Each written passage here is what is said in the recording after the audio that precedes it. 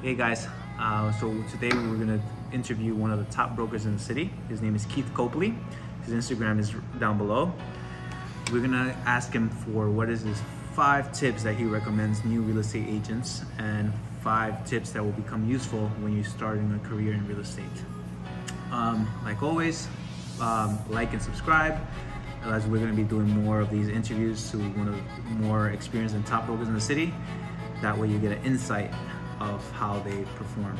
Keith Kopp is one of the top brokers in the city. You know, he is like Mr. Soho West Village. Oh my God, I forgot. I've always looked up to Keith. When I was young and new in the industry, he was already well known. So we're here today, we're going to ask Keith, you've been in the business how long?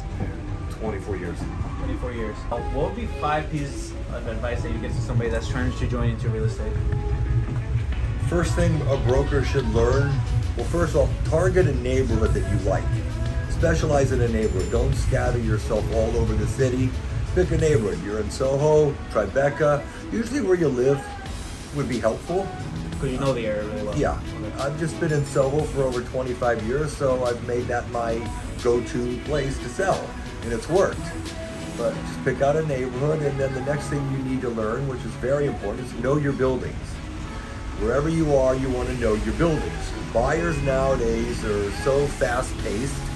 If they ask you something, oh, I want to know what kind of doorman building in Soho. You don't want to say, I don't know. You want to know. So learn your buildings. Whatever neighborhood you specialize in, learn the buildings. Very important. You want to know your buildings. Read the real deal every day. Read the Wall Street Journal, especially on Friday when you have the real estate section. Mansion. Read. Educate yourself. Buyers notice that. Buyers like that. Something, someone that just got their license and jumps and joins a company, what's the one piece of advice you give them? Follow what all the other brokers do. Do whatever firm you're working in, follow the top brokers. See what they're selling. Look at their listings. Learn their listings. Go into their select solds. Well, this broker specializes in this. What is she doing that she keeps doing this in these four buildings? Then you take notes from that and try to do the same. To find new business, how would you recommend someone finding new business? Well, a new broker, doing a mailing or cold calling or sending an email to a potential seller would be a little difficult because you don't really have a resume built up yet. You have to, like, I go to the Equinox Gym in Soho, gold mine of clients full of Wall Street people. Like right now, here we are sitting at Sant Ambroeus in Soho. This is just full of potential buyers and sellers. Find places in whatever neighborhood you're selling in or specialize in. Mercer Hotel. Go over there at 6 o'clock at night, gold mine of buyers and sellers, potential. Pick out, pick out places. But the gym is a big one. Yes. So Be social. Dress well. You have to stand out. There's a million brokers. You have to look different from everyone. And you have to, you know, know your know your inventory. Know just get told uh, attend open houses when you're new. Is that something that you would I tell everybody that before COVID, there were hundreds of open houses every Sunday. I personally hosted five open houses.